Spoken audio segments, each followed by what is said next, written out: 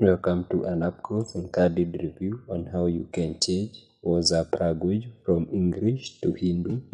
What you need to do is just click this three dotted icon in the upper right hand side of your WhatsApp. Then move into your WhatsApp settings. Scroll to where we have app language. You will now scroll and choose to where you get Hindu. They have been arranged in alphabetical order. Click the option Hindu and my WhatsApp have been converted to Hindu. I don't know if I'll be able to take it back to the normal settings since I'm not good in Hindu language.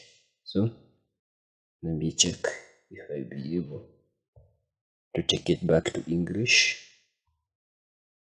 Let me try. I think it was somewhere here. Let me follow the step and try and read some Hindu. So it is here. So I take it back to English.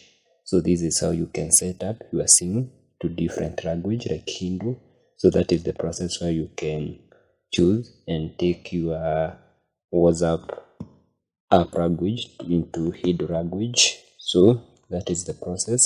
Let me set it back to Hindu. It is here. Yeah, that is the process. Panapati.